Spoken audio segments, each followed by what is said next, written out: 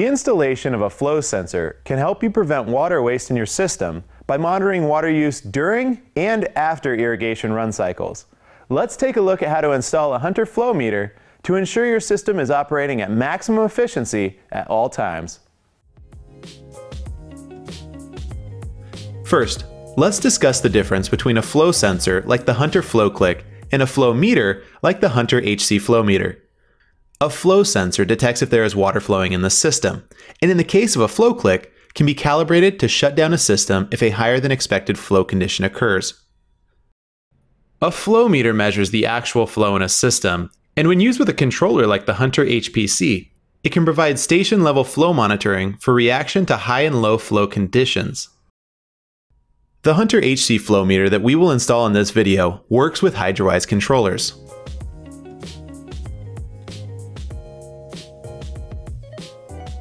Before we get started, here are a few things you'll need.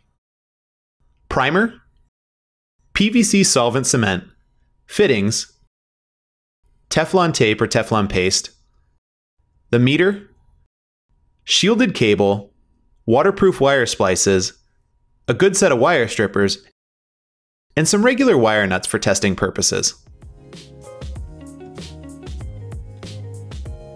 When deciding where the flow meter should go, it's important to note that the installation requires 10 times the pipe diameter of undisturbed, fitting-free pipe upstream and 5 times the pipe diameter downstream.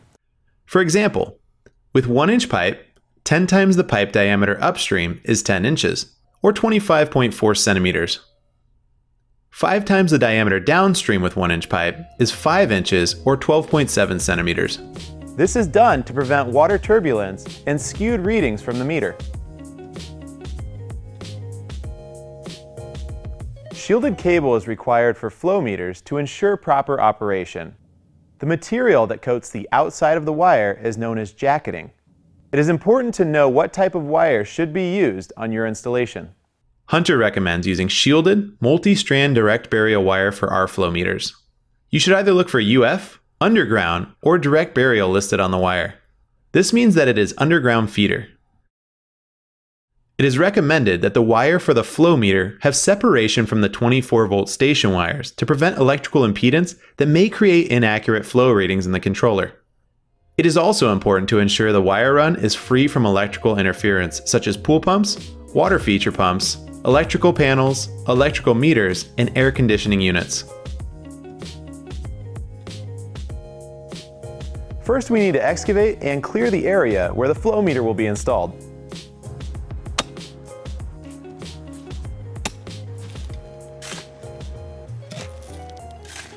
The flow meter should be installed as close to the point of connection as possible, and must be before the first irrigation control valve or the master valve. Grab the flow meter box and begin removing the contents. Inside the box, you should have a flow meter, two brass unions to make maintenance and winter blowouts easier down the road, and two gaskets to create a watertight seal. Start by assembling the inlet or upstream side of the meter. Note the directional arrow stamped on the side of the meter body, indicating the direction of flow. The gasket should be inserted in between the union and the meter body. Once the gasket is in place, slide the male adapter portion of the union through the union nut and thread the union onto the meter body. It is recommended that you purchase threaded brass couplings for the installation. It is not recommended to thread brass fittings into plastic fittings. Over tightening of the brass fitting can cause the plastic fitting to stress and crack. If it does not break at the time of the installation, it may break due to heating and cooling of the fitting during normal operation. Add Teflon paste or Teflon tape to the brass male threaded union adapter to create a watertight seal. Two or three wraps of Teflon tape should be plenty. Now thread the adapter into the brass coupling that you purchased.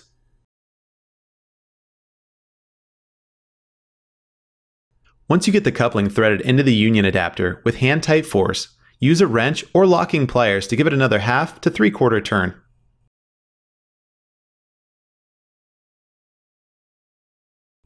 Now let's measure out the distance of pipe that we're going to need on the upstream side and the downstream side.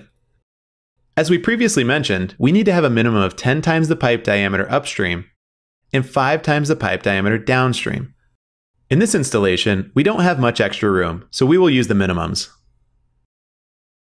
In this example, we are using 1 inch pipe, so we have 10 inches of undisturbed pipe on the upstream side and 5 inches of undisturbed pipe on the downstream side. Apply Teflon tape to the threaded end of the Schedule 80 nipple. Again, Two to three wraps should be plenty. Hand tighten the Schedule 80 nipple into the brass coupling. Then give the Schedule 80 nipple another half to three quarter turn with a pair of pliers. Now, we will measure and cut the Schedule 80 nipple to the right distance. It's always a good idea to measure twice and cut once. I have marked on the pipe 10 inches of undisturbed length. Now, we'll cut and deburr the pipe to prepare it for connection to the main line.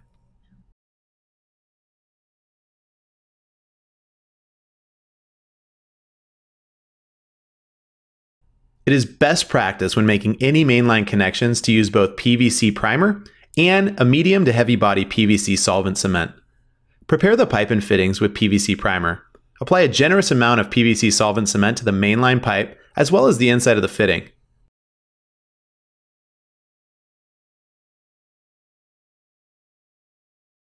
Slide the fitting onto the piece of pipe, pressing firmly and giving it about a quarter of a turn to make sure that the solvent is evenly distributed in the fitting.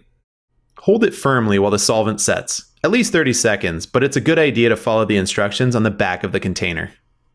Wipe away any excess solvent and follow the same process for the second connection.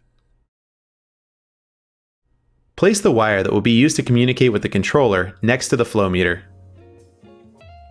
now follow all of the same steps on the downstream side of the meter that were described and shown on the upstream side.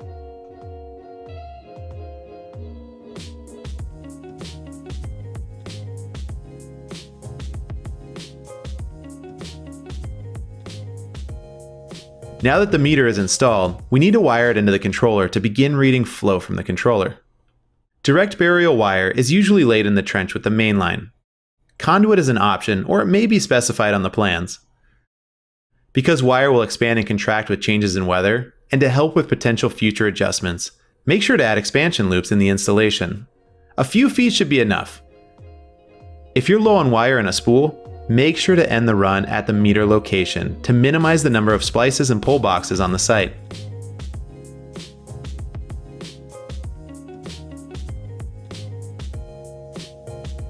Splicing wires is the process of combining two wires together. In this section, we're going to show you how to wire the flow meter into the controller. Always use waterproof wire nuts. We recommend a 3M DBOB for these connections. Before making any connections to the wires, you should make sure that the power is off on the controller. The shielded cable that we will be using for this installation is rated for direct burial and has an outer gray jacketing, aluminum polyester foil shielding, two insulated communication wires, one that is red and one that is black, plus a non-insulated drain wire.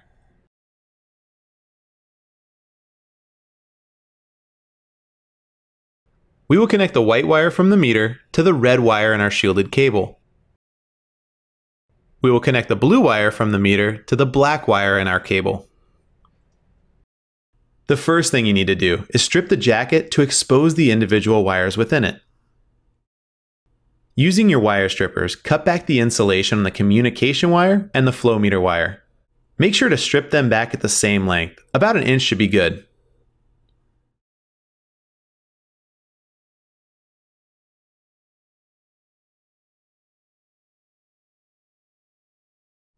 Next, put the wires together in parallel so that all the exposed wires are touching. Trim the frayed ends of the wires, and then use the wire nut to twist the wires together, making the connection. When using a two-piece connector, check that the signal to the controller is good before applying the waterproofing connector, and be sure to push the wire nut all the way to the bottom of the connector for a secure seal. It is recommended that you apply waterproof connectors to any spare unused wires. With the wire from the flow meter spliced together with the wire running back to the controller, your connection should be complete.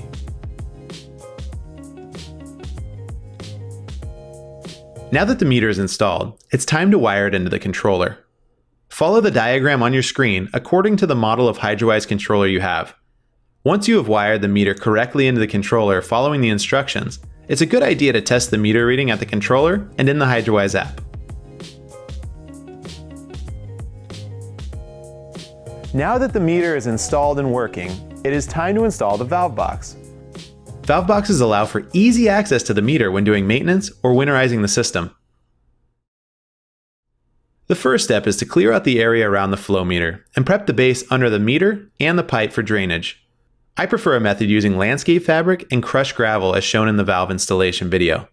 Another common method includes using brick support and gravel backfill.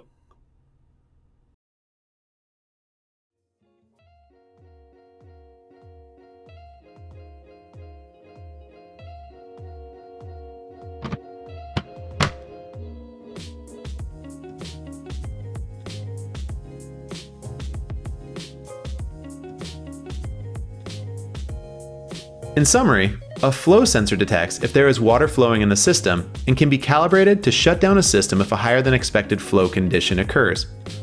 A flow meter measures the actual flow in a system and can provide station level flow monitoring for reaction to high and low flow conditions.